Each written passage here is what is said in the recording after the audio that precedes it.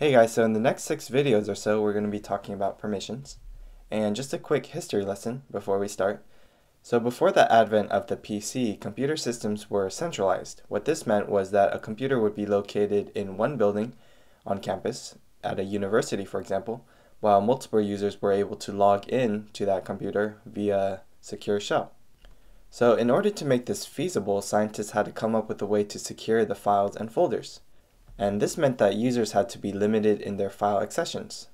So some files had permissions to read, write to, and execute, while others did not, and this depended on who you were as a user.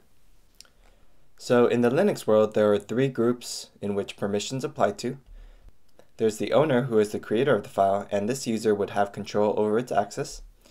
And then there's the group, which is one or more users who are given access to a file or directories. And then there's the world, who is everyone else. So to display the user and group names and numeric IDs of a calling process, we use ID. So let's just try that. And we're just going to look at the two main IDs here, which is the UID, and that's going to be the user ID, which is mapped to a username.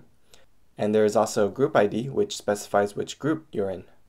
And there can be multiple users with the same group ID, while users can only have one ID. So on a Linux platform, the user accounts are defined in the etc password file, and groups are defined in the etc group file.